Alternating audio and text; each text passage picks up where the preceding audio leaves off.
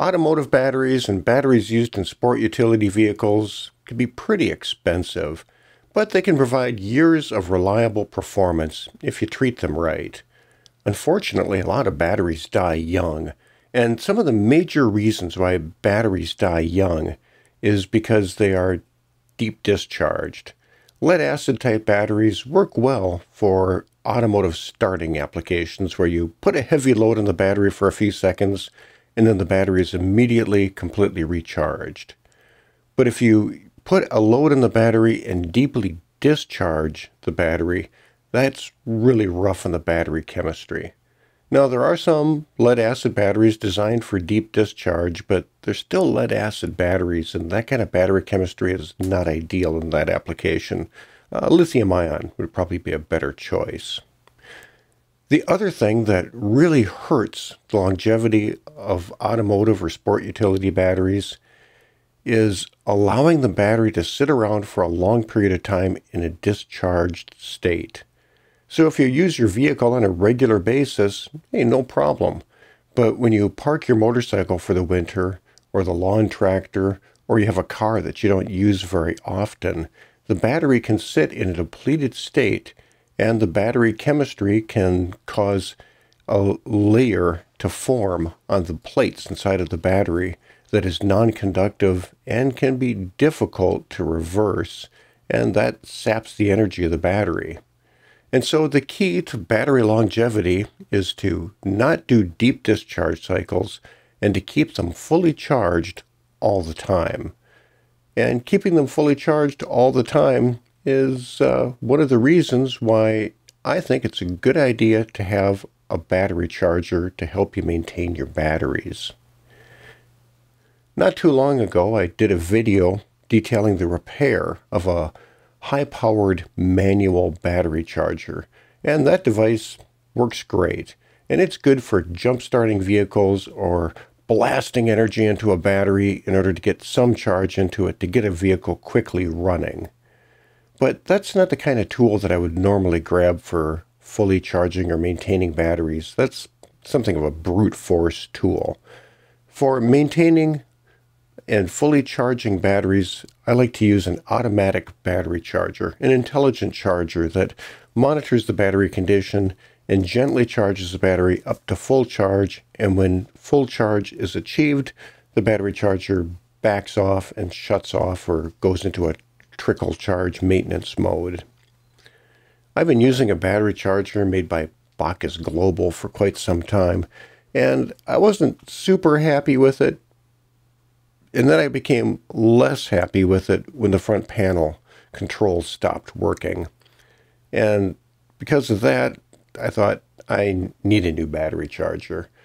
And I didn't want to mess around. This time I wanted to get one that was really good. And so I start shopping for a replacement smart battery charger. And I'm willing to spend some money on this in order to get a good product. And so I found one that I think, I thought was a pretty good product for well over a $100 and made that purchase. And that is a good battery charger. But as I was doing that shopping, I came across this one in the listings, this Yonhan 10 amp charger. And this charger sells for less than $30. I think I paid less than 25 for it. And it had great reviews. And it's a little thing. It uh, has some short leads on it, which uh, don't look that impressive. And I was really skeptical. I thought, how good can this really be? But for such a low price, well, I can always use an extra battery charger to maintain the motorcycle or the lawn tractor or something. So uh, take a gamble. Well, this thing's mighty impressive. It works amazingly well. It is a computer controlled multi stage battery charger that does a fantastic job of charging up your 12 volt or 24 volt utility or vehicle batteries. And um, it also has a recovery mode, which can recover batteries that haven't been used for a while and increase their capacity, which actually works on some of the batteries I've tested it on. I've used it for charging a semi truck and its batteries. That took a little while, but it worked fine. And so this is a great device. Now, this is not a starter. This is not a jump starter for a vehicle. It's a battery charger, and it charges at 10 amps, which is a moderate pace for charging batteries. Now, as 10 amp chargers go, this charges faster than I would have anticipated. But for a typical car battery that's a bit discharged that needs to be topped off, I think it would take three to four hours to charge up. If the battery is deeply discharged or it's a big truck battery that has large capacity that needs to be recharged, it might take a day or a little more than a day to do a job like that. But generally, it works pretty rapidly and it's very effective and it charges all kinds of different batteries. So I'll take a closer look at it here, and I'll show you the various features that this Yonhan 10 amp battery charger has. So let's talk about what's so great about this Yonhan battery charger. Obviously, at the price. At this super low price point, if this charger extends the life of an expensive battery, it more than pays for itself. It's a smart charger that does 12 and 24 volt battery systems. It automatically detects what charging voltage to use. It has an internal temperature sensor, so it knows if it's summertime or winter time. And during the winter, it automatically boosts the charge a little bit to compensate for the cold temperatures. It is able to charge all types of lead acid batteries, from big batteries and small batteries, wet cell batteries, AGM batteries, gel cell batteries, and so forth.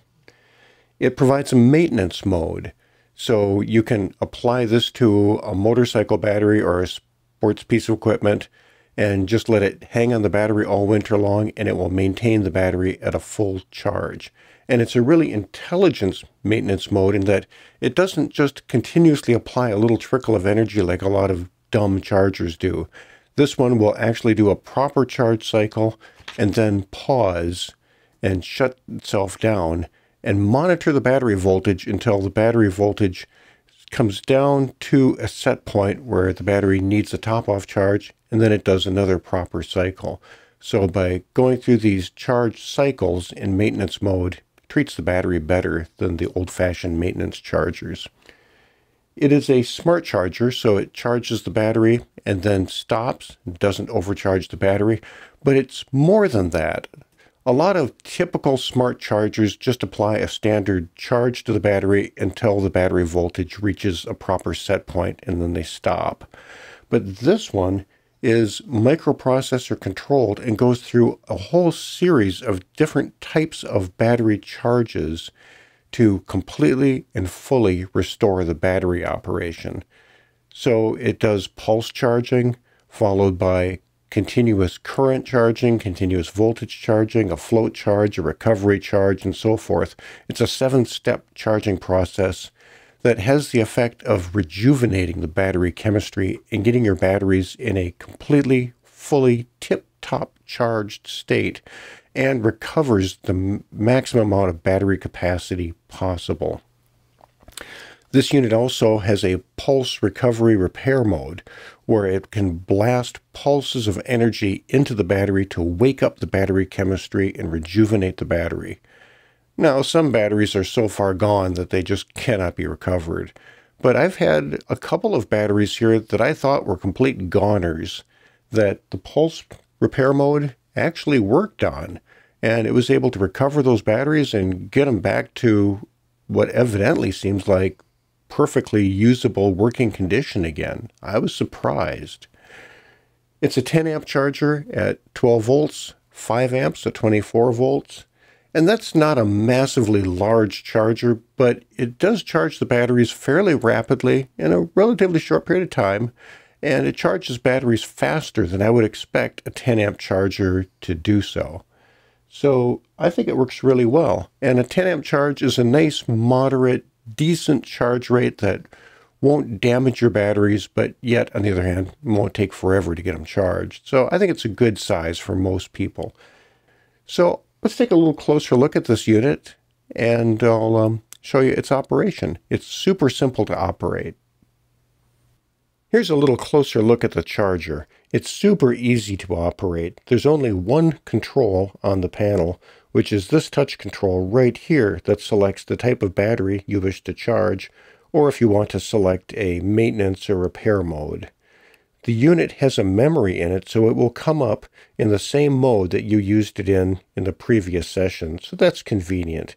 The mode that the unit is in is indicated by these lights right along the bottom down here, and there is a large LCD display which indicates the battery voltage, the amount of current being delivered, and the ambient temperature, so the unit knows if it should be doing a winter charge or a summer charge. You'll notice that there's a chart printed right here which depicts the different charging modes that it steps through in a charging cycle, where the top line indicates the voltage and the bottom line indicates the current being delivered. And so it just gives you a pictorial representation of the seven-step charging process that this unit goes through. There's a small fan on this end of the unit that keeps it cool while it's operating. And the power cord is over here. And on this side of the unit, there's a relatively short but decent pair of battery connector clips and its cable.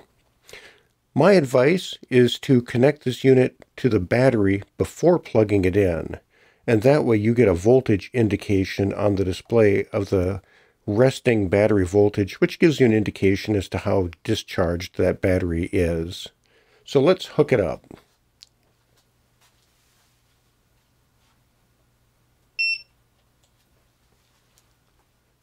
So when we connect the battery, it tells us what the current battery voltage is, and it will cycle between that and the current ambient temperature.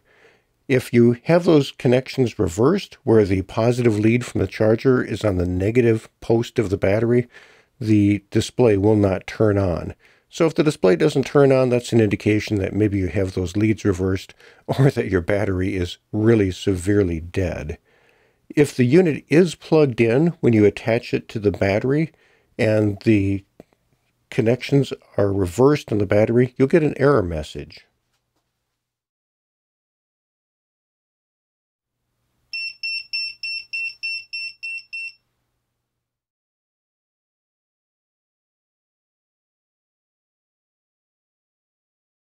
I'm going to plug the unit in at this point and we'll begin a charging cycle.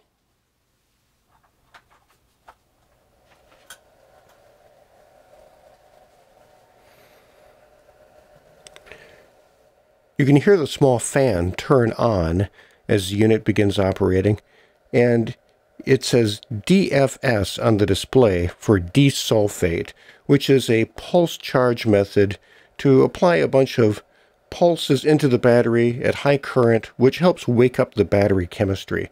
It will stay in this state for about five minutes when it begins the charging cycle to prepare the battery to best take a charge. You'll see a bar graph display right over here, which shows the current state of battery charge. And so it's going to sit in this state for about five minutes until the desulfate mode completes, and then it will begin the rest of the battery charge. The mode selector switch allows you to choose what type of battery you wish to charge or the operation you wish to do, indicated by the lights along the bottom. The first mode, the first light, is for standard automotive battery use. The second mode is for batteries that are of gel cell or AGM types. They have a slightly lower resting voltage than a wet cell battery. The next mode over is for charging smaller batteries, such as from lawn tractors, sports equipment, and so on.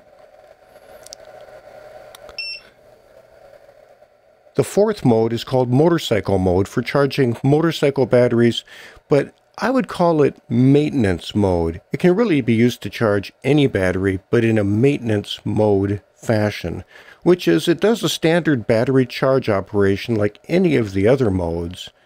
But when the charge is complete, this unit will say full on the display and then eventually it will say off, just like it does with all the other modes. But even though the, the display is saying off, the unit continues to monitor the battery voltage. And when the battery voltage dips down, the unit decides that it's time to top it off again and it will restart and do another charge cycle. And so motorcycle mode or maintenance mode is the mode that you'd want to be on if you connected this to a battery that was in storage over the winter or for a long period of time and it will automatically charge as needed to keep that battery in tip-top condition. And the final mode is a repair mode, and it says PUL for pulse repair. And in this mode, it is applying a series of high energy pulses into the battery to help rejuvenate the battery chemistry. It does this automatically during the other charge modes for the first few minutes to get things woken up and ready for a charge.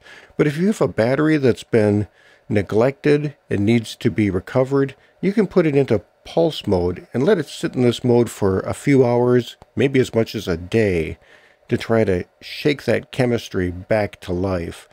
Operation is really simple. The unit remembers the last charging mode it was in. And so most of the time you can probably just connect it to your battery and plug it in and be good to go.